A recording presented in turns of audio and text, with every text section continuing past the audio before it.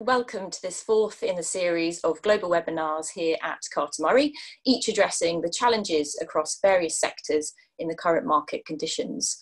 Thank you to those who are joining the, the call wherever you are. You may or may not be aware that Carter Murray is a specialist marketing recruitment agency, part of the wider SR group, covering marketing, communications, business development, and digital roles across professional services, financial services, and commerce and industry. We have offices in London, Frankfurt, UK, uh, sorry, Hong Kong, Singapore, Sydney, and New York. Today, we are so very fortunate to have such an impressive panel of leading marketing and business development experts discussing the impact of cur the current crisis on marketing strategy, tactics, people management, and also career advice for the future of professional services, business development, and marketing professionals.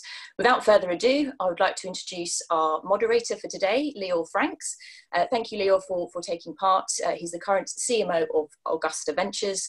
Leor has extensive global knowledge, experience, and insight within professional services marketing, having led marketing in Europe, Middle East, and uh, Africa at FTI Consulting, EY, and previously Deloitte. Thank you to all of the panel as well uh, for taking the time today and sharing your insights. I hope you all enjoy the webinar and much uh, and, and, sort of find out uh, to, to much value to you. So over to you, Leor. Thank you very much indeed, Hannah. Good morning, everyone. It's really great to be here. And thank you to Carter Murray for the kind invitation. As Hannah said, I'm Leor Franks, uh, and, and Hannah's mentioned the firms I've worked for. I also now chair the marketing committee for the professional services industry body, the Managing Partners Forum, which is all about networking with people in the BD, marketing, and comms space. So, in that context, I'm really delighted to be joined today by a really strong panel of seasoned BD and marketing comms leaders to talk about how their functions have changed over the past few months, and importantly, to give us some insight on their views about what the future holds. So we have five speakers, each of whom who have led teams across the professional services industry, and I'll introduce them in a moment. But briefly, the webinar today, which is being recorded, has three elements. Several polls, which I will pose to the audience throughout the, uh, the affair. Uh, secondly, some pre-prepared questions for the panel, uh, five of them. The first one on strategy, talking about the big picture. Secondly, about tactics, looking at the specific marketing comms investments that have worked for people over the last few months. Thirdly, on people, managing and leading teams. Fourthly, on learning, how we've all developed and how we're seeking to advance ourselves during this difficult time. And finally, some careers advice for everyone on the call, some words of wisdom from the senior panel that we have today. If time allows, I'll also ask for questions from the audience. And if you'd like to put a question forward, at the bottom of your screen, you, you should see a Q&A button. You can click on that at any point. Please submit your questions through that. If you don't mind mentioning your name, you don't have to, but if you could, I will reference your name when we ask the question. And uh, we'll do this on a first come, first served basis. So please get your questions in early. So that's the agenda. Let me start with uh, an introduction of each of our five panelists. Firstly, we have Alessandra Almeida Jones who's Director of Marketing at Baker McKenzie. She has deep experience across law firms at Baker's, Linklaters, and King and Wood Mallesons. Secondly, we have Emma Baker, who's Head of Marketing Comms at the law firm Charles Russell Speechlys, a lot of experience in legal at Freshfields and many years experience in financial services marketing as well. Thirdly, Chris Pullen, who is the legal business development leader for EY and sits within their financial services industry group uh, Chris previously headed marketing teams for three top US law firms and a consulting firm. Next, we have Peter Thomas, who is the Chief Marketing Officer for the multinational consulting firm Accenture across Europe. Peter leads a wide range of brand and marketing comms activity and has had a varied career, including as Director of Comms for the Rugby Football Union, from which time I'm sure he has a story or two to share. And finally, Amanda Wadey, who is Head of Practice Development for the leading law firm RPC. Amanda has headed marketing uh, at law firms and legal services, and she's also, from memory, a reformed litigation lawyer, so perhaps one for the other panelists not to argue with on today's call. Thank you all very much indeed for joining us. So that's the panel. And before we get to the questions, I'd very much like to put our first poll to the, the audience. Uh, so if we could ask for the poll to come up. If you're watching on recording, unfortunately you won't be able to see the graphics of the poll, but I will talk through both the questions and the answers.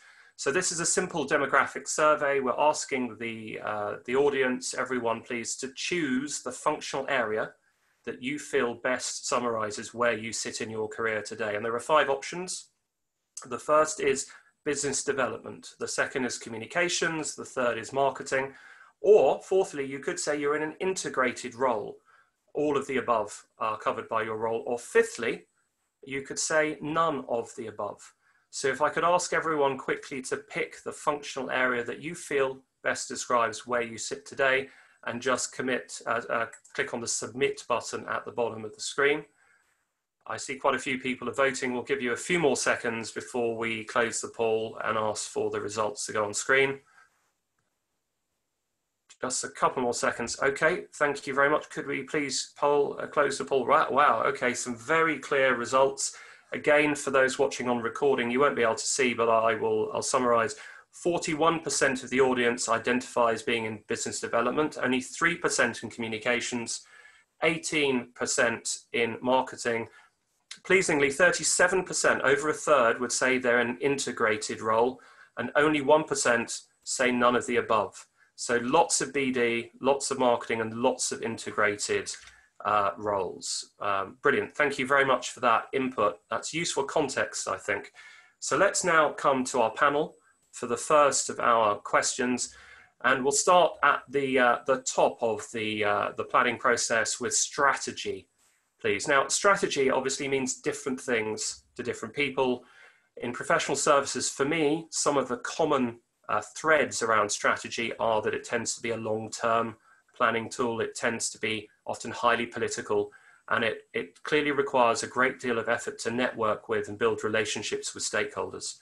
So in that context, I'd like to ask the panel, what has the impact of lockdown been on your firm's BD and marketing strategy? So the impact of lockdown on your firm's BD and marketing strategy. So let's start please with Amanda. Amanda, what's the impact of lockdown for you? I think as soon as lockdown down happened, I would say that it was a case of putting your mask on before you put the mask on of those around you, which is to get yourself in shape as soon as possible to be able to deal with this. And then I have to say that in terms of long-term strategy, because nobody really knew how this was going to play out over a long period of time, it was very much looking at what do we do right here and right now for our clients. And in terms of law firms, um, as we all know, there was a huge amount of legislative changes that happened fairly quickly. For example, furlough. There were other things that happened very quickly, like the courts immediately going to virtual court hearings, which was a huge thing for our business because we're 70% litigation. And also the regulators were talking about how they were going to be coping with it. So the CMA immediately put out an announcement saying that it was carrying on as business as usual. So I think the first thing we really wanted to do was to get all that content out to our clients to say, look, this is what is going to be happening in your world very quickly. Now, uh, we all know that every other law firm was doing exactly the same as that. So there had to be an extent to which we wanted to really reach out to our clients at a bit more of a personal level. So we sent a lot of personalized emails saying, um, we think that this may affect you, please get in contact with us without the sort of a lot of the marketing speak and the, spammy approach to it, which is really, it, it takes a huge amount of time, but I think we recognize that that's what we had to do. So that, that was the really sort of point one. And then secondly, it was all about staying connected with clients, showing them that we were all going through the same thing together, um, that all the issues that our employees were facing were also being faced by our clients. So it's getting that mixture right between we understand your world at the moment, we understand what you're going through, but you need to know this. So I, I in terms of short-term strategy, that was what we focused on immediately. Thank you very much, Amanda. Let's come to Peter at Accenture now, please. Sure. So, I mean, I think if your yeah your definition was a long-term process, I, I would suggest our BD and marketing strategy didn't really change. I mean, the strategy remains to focus on what the brand stands for in the market, um, and then to use our relationships, in many cases existing relationships, with most of our clients to explain to them the story we have to tell um, and do that in a way that engages them personally and as a, as a company. So, yeah, at, at, that level, the strategy remained as it's always been to grow, get closer, as, as Amanda said, get closer to our clients, stay close to our clients, you know, be clear about why we're different and ensure that they, you know, they know how we can help. Um, and we do that as we've always done it through you know, various different things. What did change um, at two levels was the prioritization of the things we've sold to them. So the services that we um, we we sold to those clients wanted to talk to those clients about changed in the way in which we we thought about them, and then very much, which we'll come on to, I know when we talk about tactics, how we how we did that engagement and how we pivoted to to to to maintain those relationships. But in, in terms of if you take that middle bit, you know, of course we prioritize. We saw a huge, from our perspective, opportunity to remind people of the work we can do in enabling people to work remotely. So um, our technology team um, saw a huge opportunity to move um, whole corporations, including the NHS, by the way, to Microsoft Teams. We moved all of NHS Mail, which is the email system we support, um, to Microsoft Teams to enable many of the NHS staff to work remotely um, in a week. Um, so those kinds of services moved up the sort of priority list of getting focus and effort. Um, so, but not just technology, workforce related consulting, um, those kind of, you know, you, you reprioritize the services you think are relevant for the clients at the particular time of the, the change and the, uh, the, the, the, lockdown and the you know, furlough, etc. Um, so that happened, and we did absolutely look at our service set and how we could, what was relevant um, and what we wanted to talk about but over the overarching strategy, you know, the brand message, the story, the narrative, the differentiation even of what we what we think makes us different, that didn't change. But obviously beneath that, we reconfigured a number of things at speed. And I would agree with Amanda. The first thing we did was make sure that we were our own best case study for what was possible to make companies virtual. And um, we are a half a million person business, and we within a, somewhere in the range of a month moved 95% of those people, even those people delivering service to clients, off um, uh, remotely to work remotely, including all of our delivery centers in India and um, and China and Philippines, all moved to deliver those services from home. Um, and so, you know, we we made ourselves our, our own best case study. Thank you very much indeed, Peter. So less of a change in strategy, more around prioritization and obviously virtual working. Thank you. Alessandra, why don't we come to you next, please? Yes, I think uh, uh, to echo a couple of things that both Amanda and Peter have said is that the, the, core strategy doesn't change, but it changes how you go to market with it. And I think this is the change in focus for us. I think uh, we the, a couple of things that sort of happened uh, with lockdown. Because we have a footprint which means we had other jurisdictions that had already been going through lockdown as uh, uh, jurisdictions in the west you know us here in europe and people in the us went into lockdown. We had a sense of that journey. So we kind of very quickly became aware one that clients going through this process were potentially being quite bombarded by content from all sorts of different law firms and other professional services firms. So we really focus on trying to increase relevance. But in being mindful that we didn't know what the pandemic was going to do, we just put a very simple framework in place, which we call the 3R model. And it is resilience, um, recovery, and renewal, because we wanted to be mindful that companies would go through these stages um, of the pandemic, and these stages would be potentially happening parallel. So if you had operations in Asia and that were coming out of lockdown, you might be going into lockdown in places like Europe. Um, and so these stages uh, of resilience, recovery, and renewal were not only potentially parallel, but also recurring. You could be coming out of uh, into a recovery stage and then have to go back into that kind of resilience mode. And we really then started to pivoting the service lines that we had to reflect the idea that we were able to help people as they were going through the multiple stages of the pandemic and potentially to parallel stages and really pivoted the, the, a lot of existing service lines to respond to that because at the core of the strategies we wanted to increase the relevance of services and we wanted clients to be able to recognize in the service lines that they were responding to the very specific needs that were arising as a result of the pandemic. So I think this for us was the, the main change was the introduction of this framework to better position our service to clients.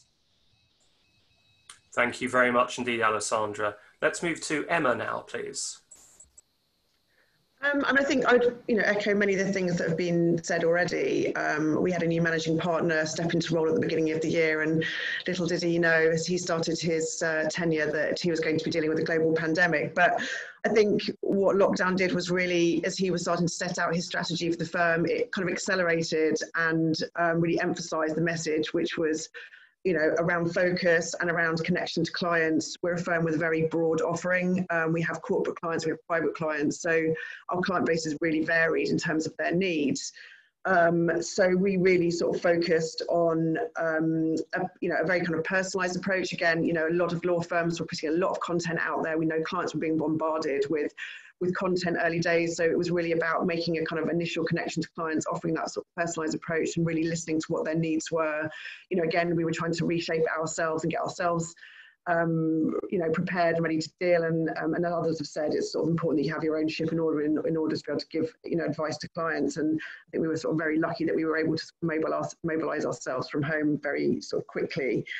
Um, and um, you know, and obviously tech has played a huge part in that. And I think again, we're sort of fortunate that, that we've sort of made investments in tech um, you know, earlier on, and so we were able to kind of be sort of ready and running sort of quite quickly. But yeah, no sort of fundamental change in strategy, but really just kind of accelerating and changing behaviours perhaps quicker than might normally have happened um, in in sort of ordinary circumstances. Thank you, Emma. Really interesting point on personalisation, which perhaps we can pick up in, in tactics.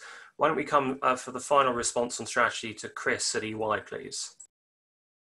Of course, when you when you go last, everyone's already said what you were going to say, so I could just say absolutely nothing and just uh, basically say that everyone has said what I need to say. But I'll add a couple of things that um, I experienced. The first, and we haven't really touched upon so far, is budgets.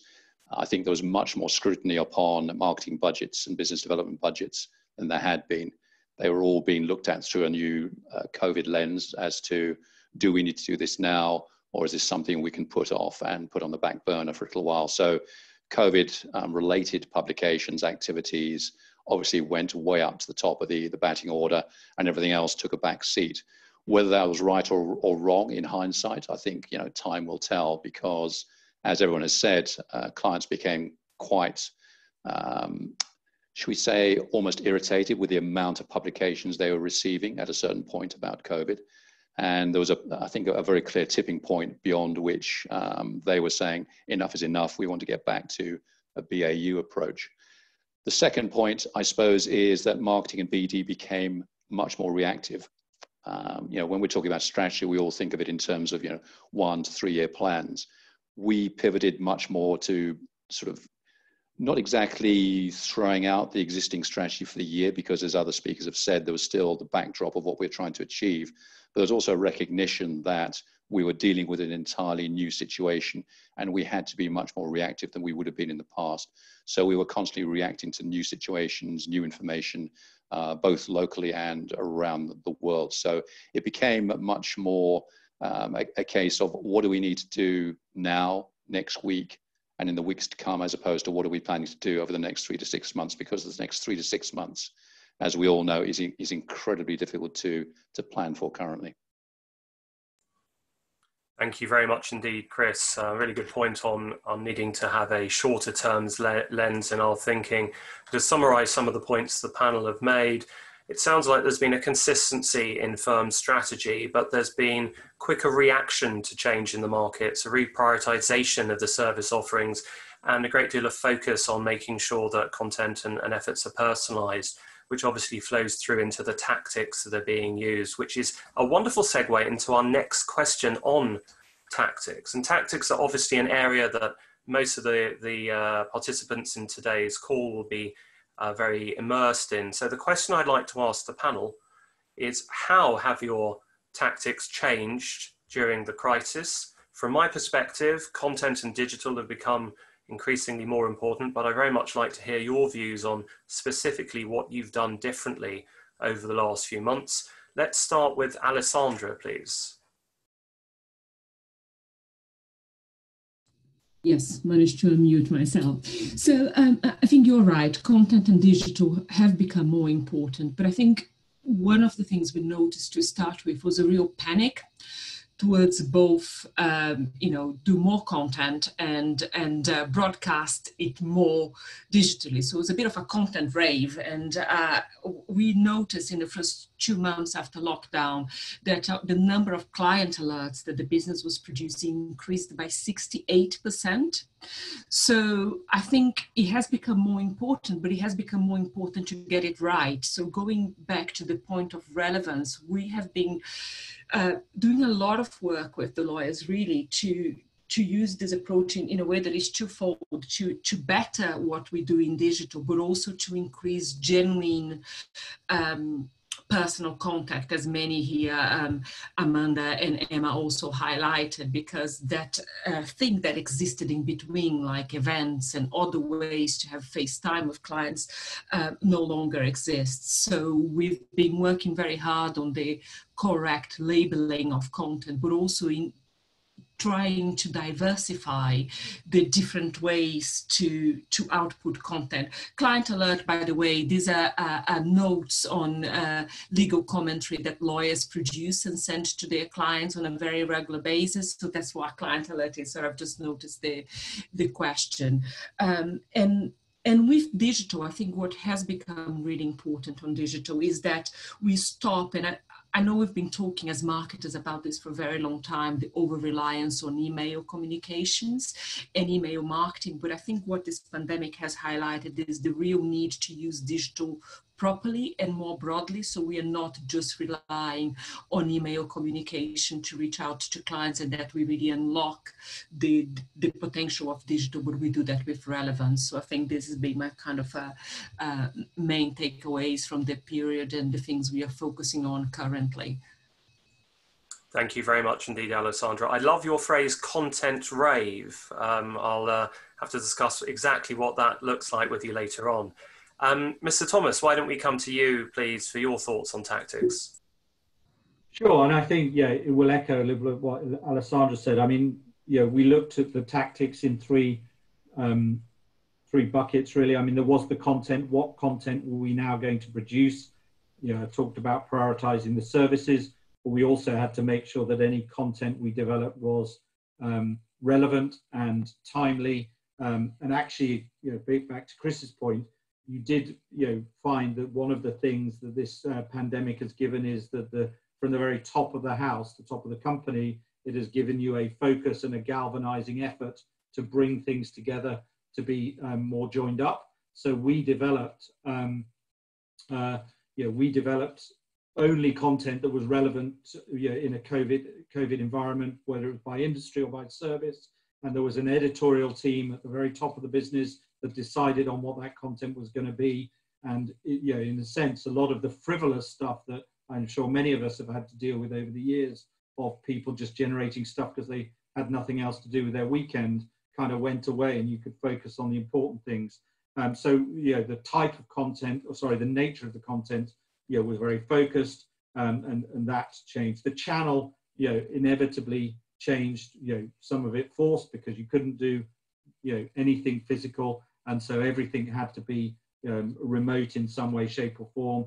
And that meant the move to, as you've all said, you know, more uh, virtual means of contact, whether that was email or uh, virtual roundtables, or um, and interestingly, you know, in the very early stages, we saw quite a lot of appetite to with our with our clients um, that with all of this time on their hands in, in their home environment, actually was easier than it's been for a long while to get them to attend a one-hour webinar with you know three or four other people. So we kept it small. We didn't try to do hundreds of people, um, but those kind of things we we we we we we we had success with early on. We've seen a lot of fatigue on that towards the end, where people have you know a been starting to return to office, but b you know if I have to do one more you know, Zoom call, I'm at home, I may have to screen.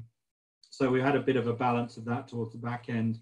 Um, so there was a channel bit. The other thing, you know, um, I would say, and a bit of the final bit is context, which is all of you have talked a little bit about, you know, being over marketed. And so we tried to make sure that we were focused. And someone's asked a question about how we, you know, manage that sort of client communication to make sure people weren't flooded.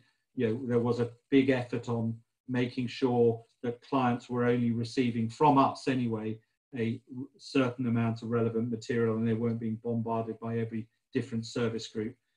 The final thing I would say though is what we also found was that things we thought would be really difficult remotely, you know, were less difficult than we thought. So bid support as a function actually was unchecked. You know, you might have thought that sort of working on a major bid and having suddenly every element of that spread around the world um, might have been challenging, but we found actually we were able to move client orals online really quickly. Um, so an awful lot of things, well, not an awful lot, some of the things we thought would be harder to do remotely were, were a little easier than we thought, but we continue to do those things, I think is the point. You know, we have done a lot of sales support, bid support, and um, BD type activity, even though our consultants have not been walking the halls of clients and you know, in some cases, sales pipeline has been deferred. Um, so, you know, we changed the type of content, we rethought the channel mix, and we were always trying to be mindful of the client context that they were living through um, to try and make it relevant. Yeah, did we get it right every time? Almost certainly not. Um, but those were the three things stack up against. Thank you, Peter. Great points on, on focus and the narrowing of channels, which I'm sure is, is something that resonates with everyone. Uh, so for the final answer to this question on tactics, can we come to Emma, please?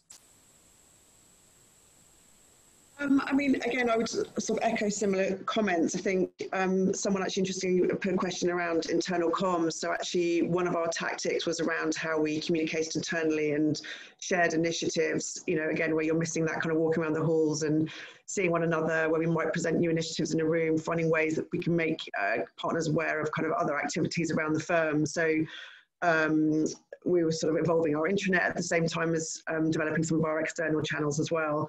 And then I think the second point on channels as well was just sort of challenging our teams on uh, the ways that they were sort of delivering content. So there's a sort of temptation to take your marketing plan if you're doing a seminar, make it a webinar, when actually that isn't always sort of the right way to do it. So really kind of looking at the content and finding the best channel for that.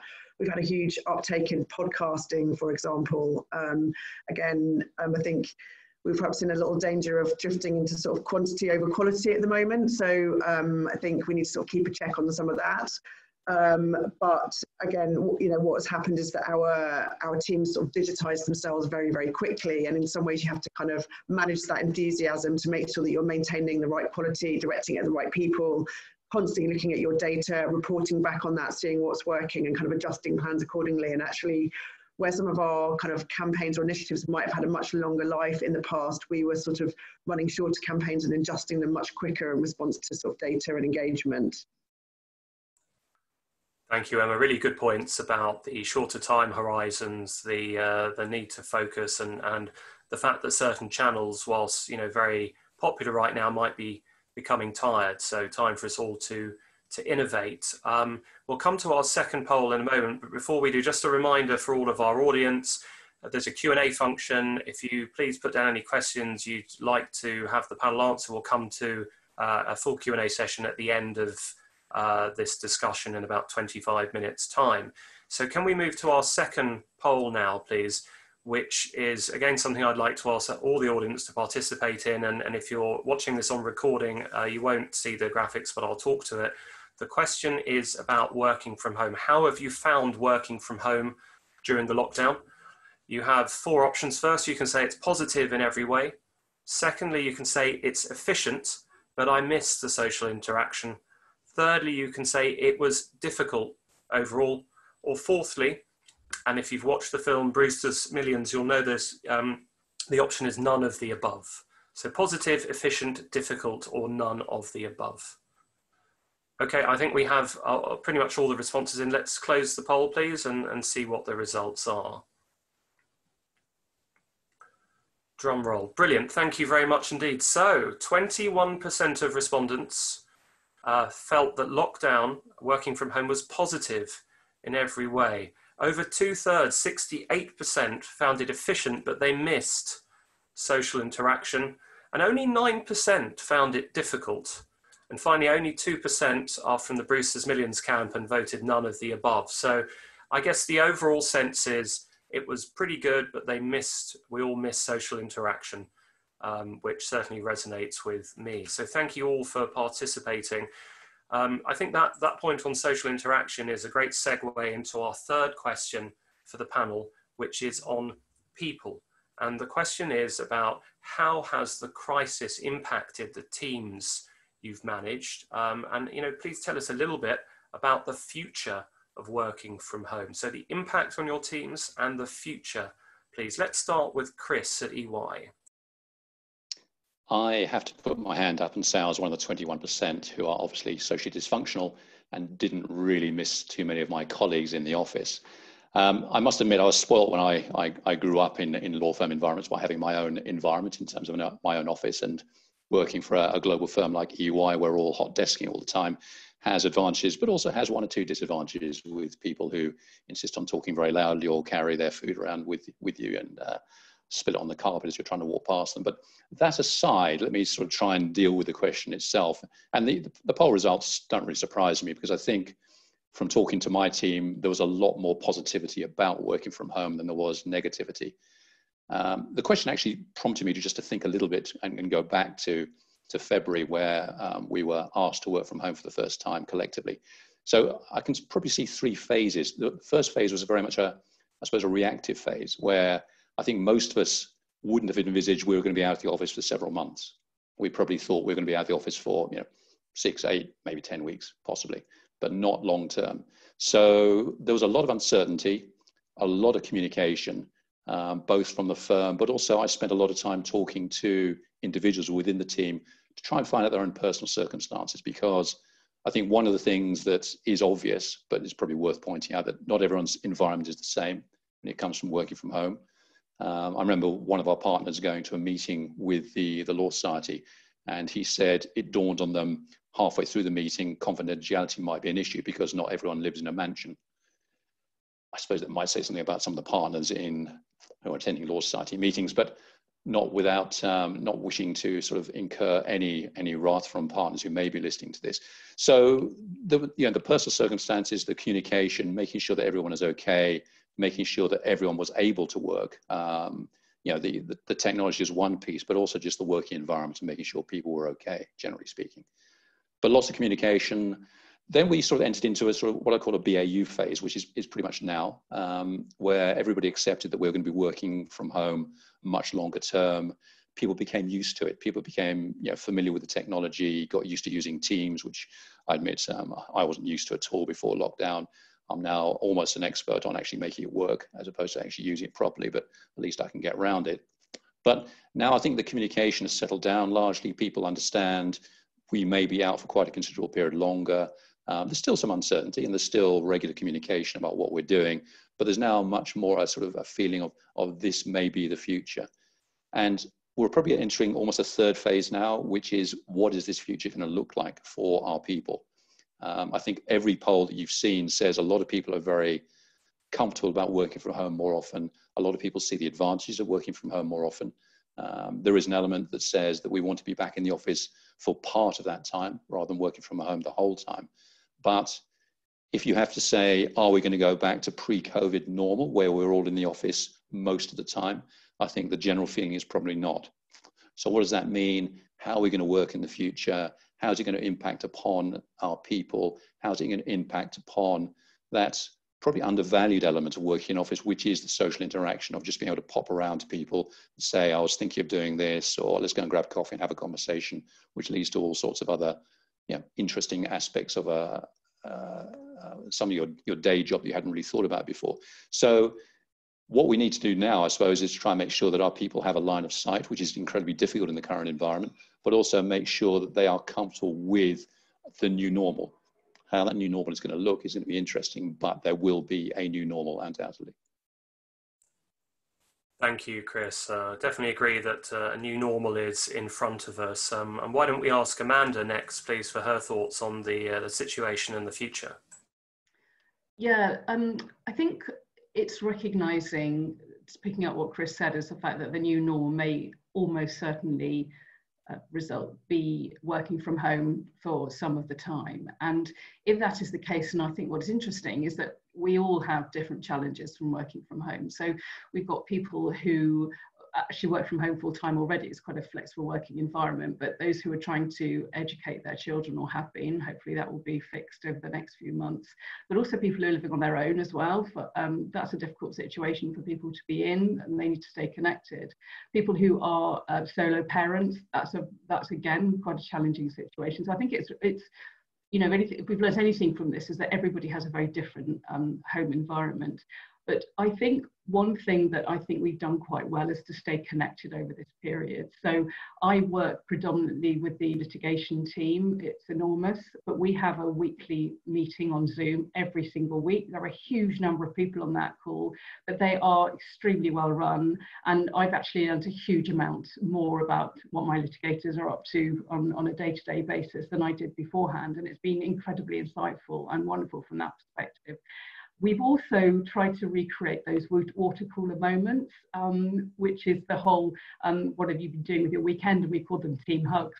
And we've had those twice a week. And that's made such a difference because we don't have to talk about work. We can just talk about, you know, did we make any banana bread over the weekend? Which of course everybody did. When, and now we've come through the next phase out of that now. I don't know what's next on the baking list.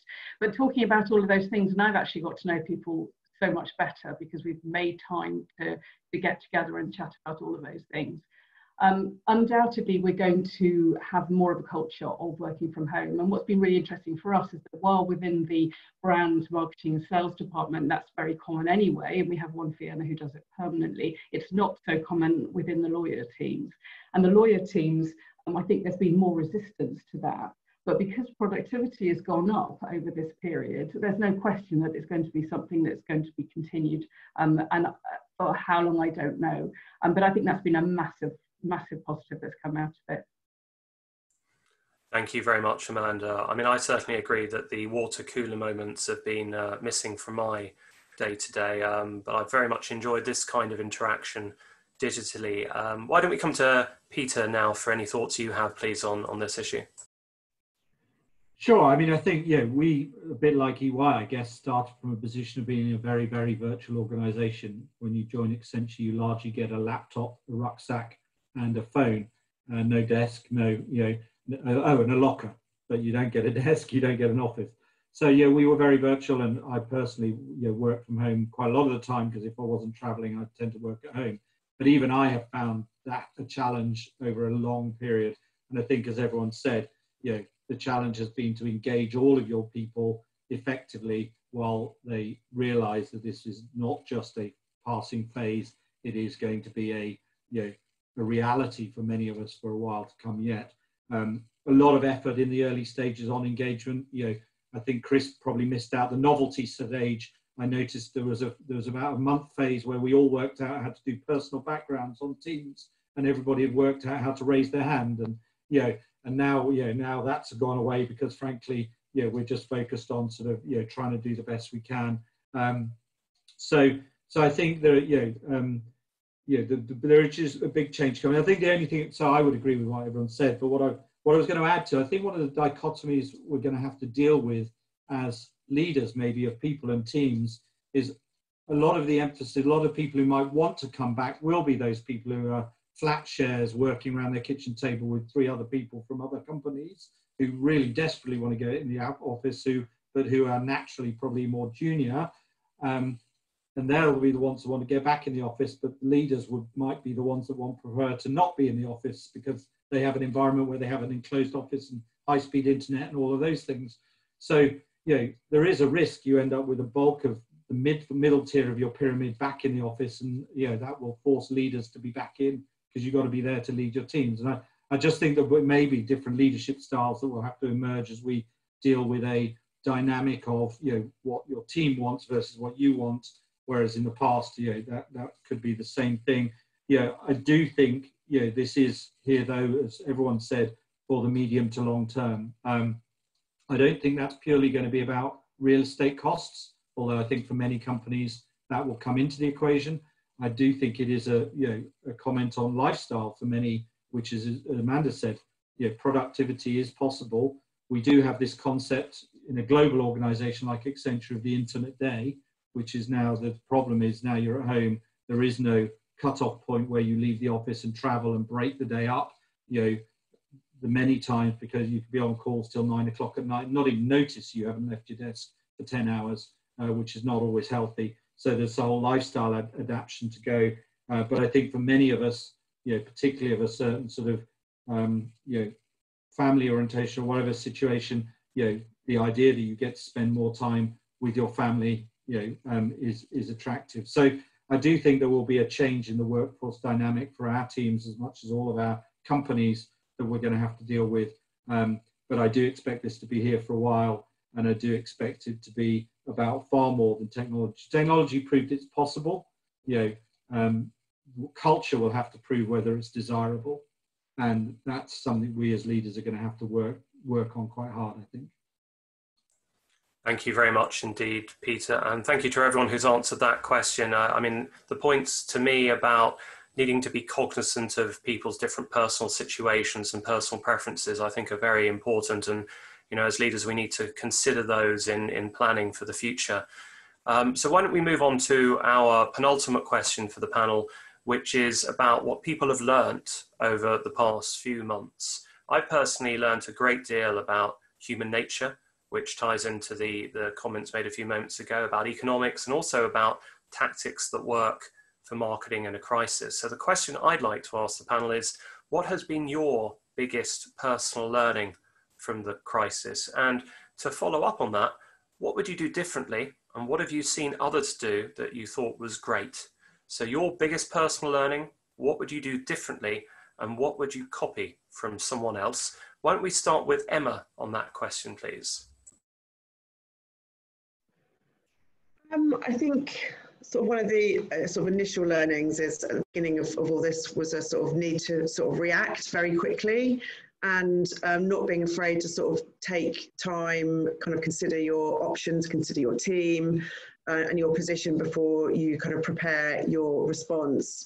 Um, and you know, and on, in that response, I mean, allowing sort of flexibility. Um, as I mentioned at the beginning, you know, we have a very varied client base here, and we learned, um, I think, you know, quite quickly that a one size all wasn't going to fit for everybody. And while some of our business areas were digitizing or digitalizing very, very quickly, there were others where that wasn't wasn't going to work, and not being resistant to the different paces of change within the organization as well.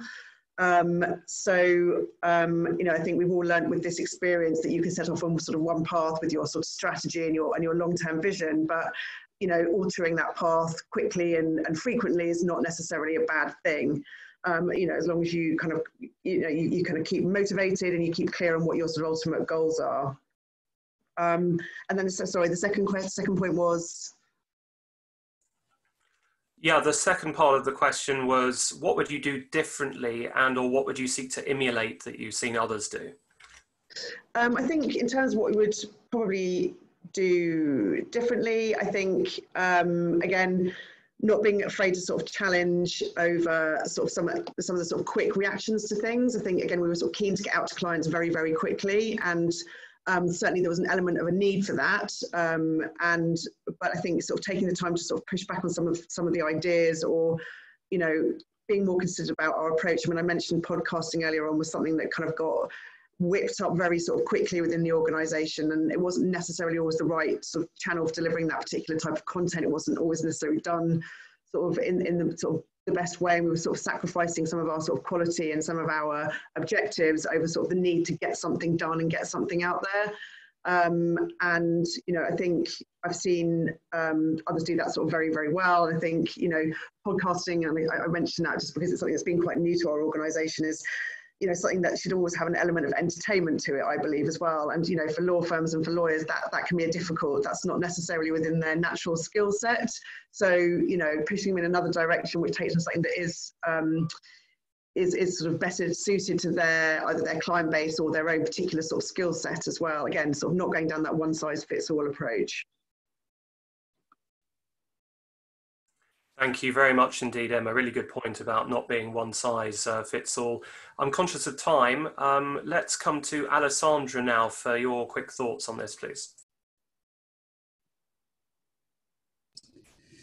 Hi. So, so my thoughts on this, I think the, the, the biggest learning was really to use the crisis to our advantage. Once, once I think that the that we kind of got hold of the panic was to use the crisis to our advantage to to advantage to drive quicker decision making. Law firms are notorious for uh, procrastinating and, and, and consulting. And I think that really helped us drive much quicker decision making. We need to be quick to market, otherwise, this will age. You know, things are moving very quickly, but also to help the business to live with the idea that we can be iterative rather than final. So it doesn't matter if this doesn't have all the answers. What we want to be doing at the moment is to be having a conversation with our clients. So that comfort that we are going to launch something that we will continue to evolve rather than launch something that is absolutely perfect. And also, I think using the crisis to our advantage to, in a way, um, kill some initiatives that we were dubious about for some time. So there were things, so we looked at the way we approach, you know, I don't know, legal directories, for example, and, and, and, and the time and attention we did give to that and how our overall marketing investment and really using the opportunity of budget scrutiny to rein into some aspects of that. Um, I think for me, the biggest learning and the biggest challenge is that in a time like that, a lot of the gains we've made in, in marketing and BD functions in professional services firms don't get eroded. So I think the, the, the, flip side of this crisis, and I talked a bit about budget scrutiny, and I know others talked about that as well, is that we become too focused on the short term and actually forget that at some point, regardless of what happens, we, we will either normalize this pandemic and will be very quickly be absorbed in how we do business, or we're going to just move on to something else. And we need to continue to look around the corner to see what this something else is, uh, which I don't feel at the time we are we are we are doing as well as we could do. Thank you very much, Alessandra. Great points. Chris, a quick comment from you, please, on your greatest learning? Probably fell, fell into two particular buckets. One is how resilient people are. Um, looking at our team, how they performed, I think we've already heard a number of people say, in terms of productivity, etc., it didn't really have very much impact at all. But also, I think learning to trust people much more than perhaps you would have done automatically. Yeah, I think we all are used to people working from home, but there's always a certain sense of how hard are they working. Um, yeah, hand on heart, I would say that sometimes you question whether people need to work from home. Um, but since the crisis, I think there's been much more trust, generally speaking, across the organization, um, which is reflected in the figures as much as anything else. So, far more trust, far more acceptance that people do work hard, don't need to be in the office, and are quite resilient in terms of how they approach their work. I think we'll see sort of lots written about the learnings about marketing generally during this this COVID uh, period, and we are, we're all familiar with some of the, the disaster stories of of people putting, uh, should we say, profits ahead of people, and the the impact that's had on their businesses in terms of profile and public perception. I think the one thing that has underlined is the need to talk to people. Clients want wanted and still do to talk to their advisors um, there's been an awful lot of push marketing in terms of content and emails and telling clients what they need to do. I think what's, I remember seeing a, a figure in the, the lawyer that said something like 25% of clients, uh, GC clients, had not been contacted by the legal advisor in a meaningful way since the, the start of the crisis.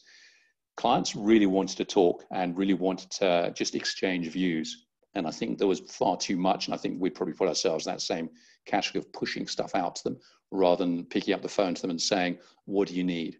Or just perhaps a conversation about clients often wanted to find out what, other, what their peers were doing. Um, so I think there was a certain amount of we need to do things quickly, we need to send stuff out, we need to react.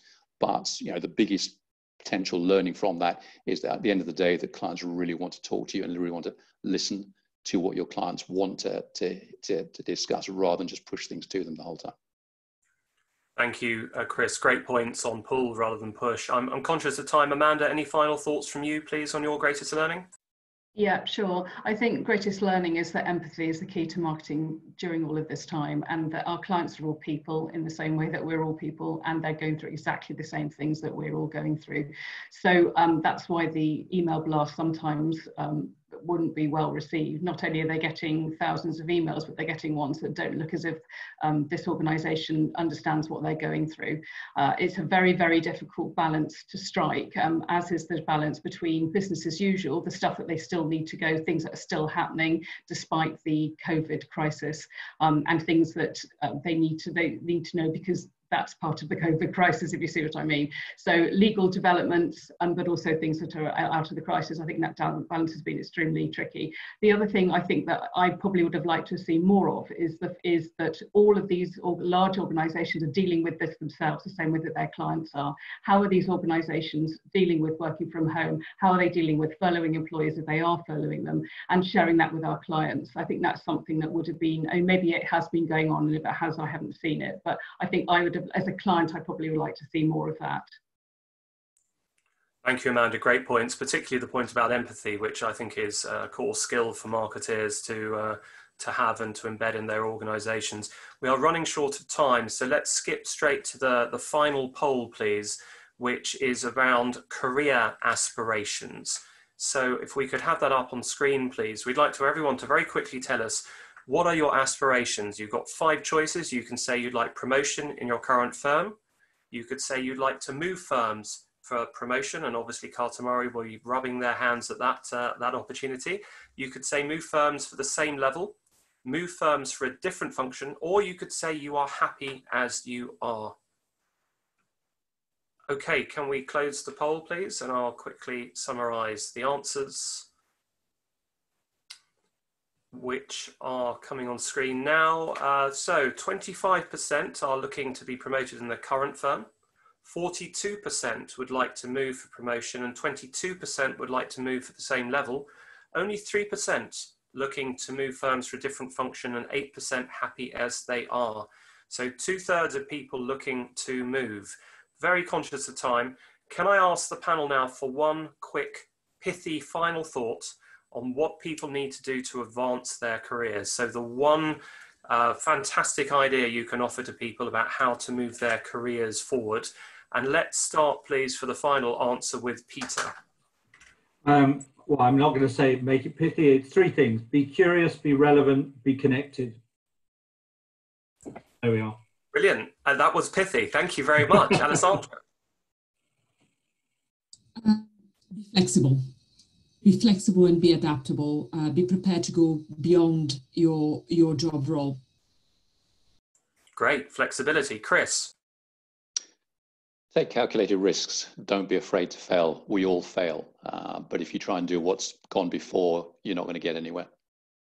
Great. Take risks. Absolutely. Thank you. And Amanda, please get under the skin of the areas that you support within the business and talk the talk. So don't say country, say jurisdiction, don't say cash, say liquidity, and you'll get immediate respect from your lawyers because it sounds like you know what you're talking about. And for a certain, you know, and you do, but you just need to sound like you do.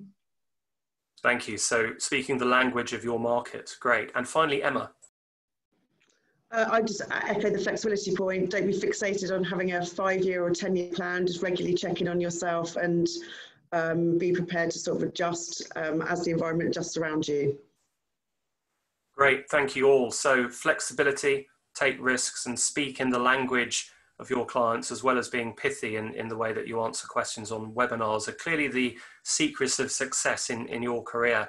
I'm conscious of time. We have about four minutes to respond to questions from the panel, uh, from the audience rather. Let's start with the question that came in from Eleanor, please. Uh, why don't I ask Amanda to answer this one? The question is, how have you encouraged fee earners to contact clients without it being seen as ambulance chasing? Great question, Eleanor. Um, I'm right in that business. My firm focuses on litigation and insurance. Um, we couldn't be better fitted for this type of crisis. And I think in that situation, you just have to show that you're there.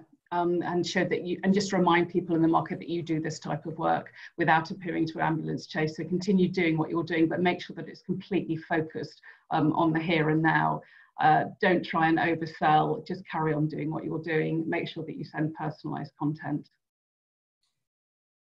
Great, thank you. So personalization is key. A question from Dominic Ayres. Each of your firms, um, when they've looked at tactics, how have you continued to monitor return on engagement against objectives, or has this been an afterthought? I'm going to ask for a volunteer from the panel to comment on measuring ROI. Well, I mean, I'm happy to say something if it helps. I mean, the truth is, you know, as many of us have outlined, one thing that did happen during this pandemic is a huge amount, in fact, if not all marketing moved online.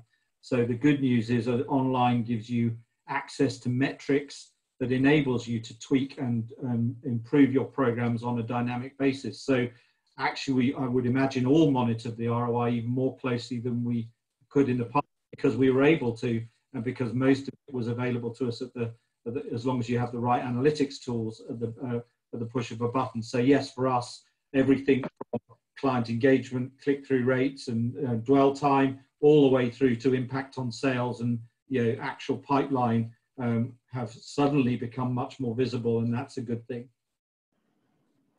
Thank you, Peter. So actually, digital makes things easier. I will uh, I will take that on board. Um, question from Sue Warner, what do we think about BD functions being offshored? Which is possibly a controversial question. Would anyone like to, to pick up the, uh, the topic of offshoring BD functions? Alessandra has a hand up. Go ahead, please. Um, I'd like to comment on that because there's been obviously a, a, a, movement. I know obviously the Big Four have done it for a while. We are a large global organization. We have four different centers. Um, I think that, yes, on one hand, the pandemic has shown that you don't need that physical presence as much as you do, but what you do need to do, your uh, job is a connection. So, you know, some we talked about being resilient and being productive, and part of the reason why I think we've held on to productivity in a number of teams is that connection and relationships have already existed. So I think what we need to be careful there is to not offshore uh, activities at the expense of that connection with the business because that's where idea generation comes from. But on the other hand, it means that we are possibly less restricted than we were before. And I think the other danger of uh, um, offshoring initiatives and why we need to be careful with this term so that we don't transform BD and marketing to a back office operation. I think we really need to transform how we talk about centers within professional services firms uh, because um, depending on how we talk about it, it could be to our own detriment. Thank you very much indeed, Alessandra. Great answer. It's absolutely important. I'm sure we'd all agree that marketing, BD and comms is not seen as a back office function and that we're there to help the business understand the market, adapt to the market, and, and do their best in these very difficult times.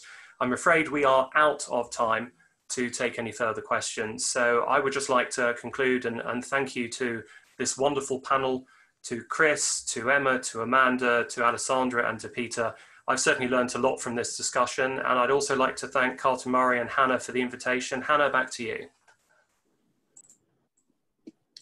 Thank you, Leor, and um, I'd like to thank you as well for for leading that and moderating today. It's been fantastic, and and and again to the panel, just to reiterate, we sort of said they're so inspiring for all of us listening in, but also for uh, the fact that we recorded it. That's that's great as well because we can then share that to those who haven't had the time to to, to log in today. Um, and we've only just touched on the surface of the insight from you as well. So again, thank you so much. And um, again, we've been so lucky to have you all, but um, feel free to to send further questions through everybody. We'll be able to take those on and feedback from today. Um, we will then be able to, to pop those to the panel and then we can sort of, uh, yeah, just to disseminate that um, over uh, LinkedIn or yeah, through our website. Um, but again, thank you everyone for joining today and for, for Leor again and the panelists. Uh, we look forward to join, for you joining us in the future and uh, enjoy your day. Goodbye.